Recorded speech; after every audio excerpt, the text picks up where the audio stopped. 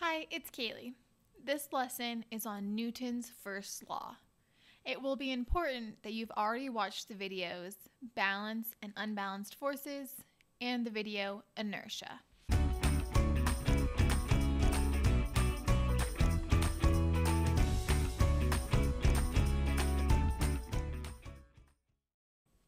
Sir Isaac Newton is a very famous scientist. He's the same guy we named the SI unit of force after, Newton. And he made some really big discoveries. And we consider some of his most important discoveries the laws of physics. And Sir Isaac Newton's first law of motion says every body persists in its state of being at rest or of moving uniformly straight forward except insofar as it is compelled to change its state by force impressed. Say what? I know, this sounds really confusing. But it's just a combination of our ideas of inertia and unbalanced forces. So we can rewrite this law as objects in motion stay in motion, and objects at rest stay at rest unless acted on by an unbalanced force. So that makes way more sense. And now we can look at some examples of this law in the real world. Let's think about pushing a heavy box across some rough ground. So we're pushing really hard on the box. That's that blue arrow. But the box isn't moving yet. Why not? Because there's a friction force that is just as strong as the force that we are applying to the box. And that means the forces are balanced and the box is at rest and it will want to stay at rest because of inertia.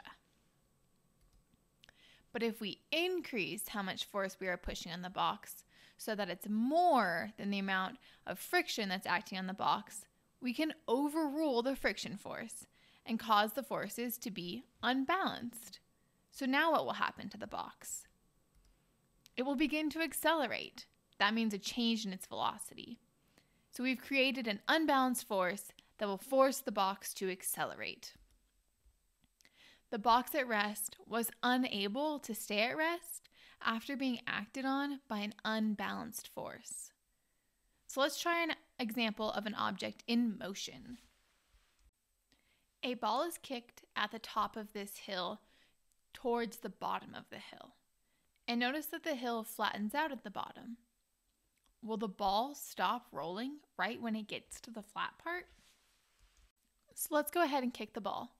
We know that as the ball rolls down the hill, it is gaining speed. It is accelerating. So what happens when the ball reaches the flat part? When the ball reaches the flat part of the field, it will keep on rolling. And this is because an object in motion wants to stay in motion. And eventually the ball will come to a stop in the real world. But how or why? First, it could run into something that could change its direction or stop its motion because of a force acting on it. But eventually, the ball will come to a rest because the friction of the grass will begin to slow the ball down, and the friction will become the strongest force acting on the ball.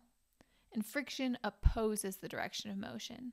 So, the unbalanced force due to to friction will be in the opposite direction of the ball's motion, causing the ball to stop.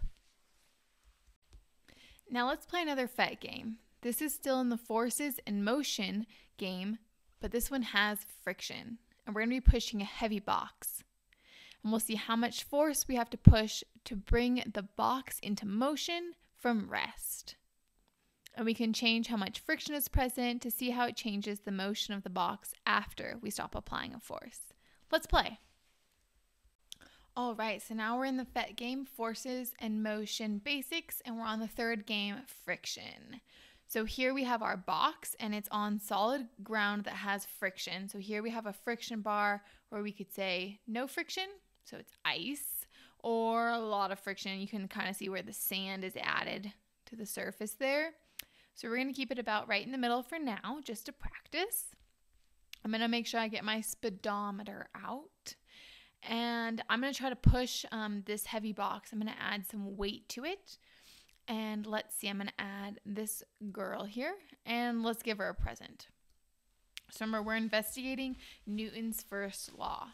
So an object at rest wants to stay at rest unless acted on by an unbalanced force, and an object in motion wants to stay in motion unless acted on by an unbalanced force. So let's see, right now we have this big heavy object and it is at rest. Okay, so we're going to apply a force. We know that we have friction present, so we have to see how much force we need to apply to override this friction to, so we are um, exerting an unbalanced force on this object so we can overcome the inertia and make this object accelerate.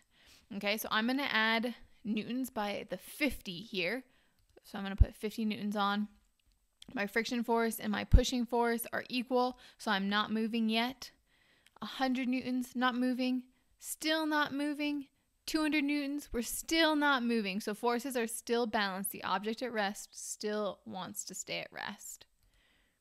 250, 3, 350, and there he starts to go. So our applied force, our pushing force, is unbalanced now. It has overcome the friction force, and we can see our speedometer.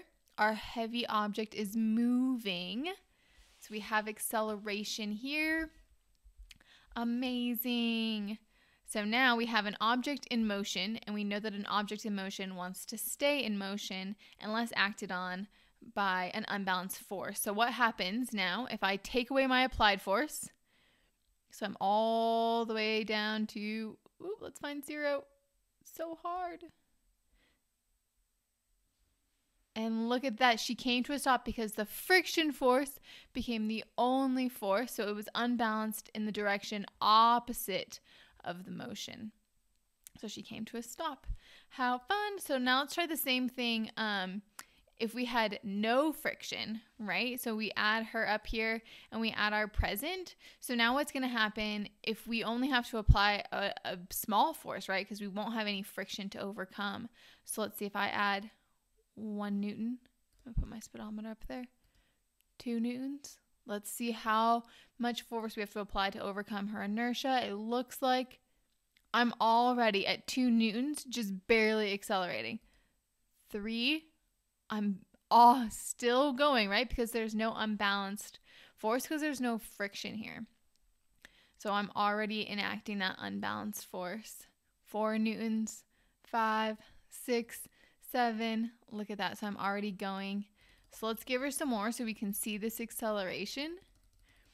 So I'm going to go up to, let's say 45 newtons. So now we're really jamming. She's got some acceleration here. We have no friction. So now what's going to happen when an object in motion wants to stay in motion and there's no friction present and I take away all of that applied force?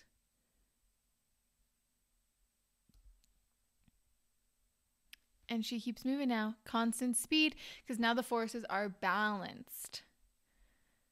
And she's off.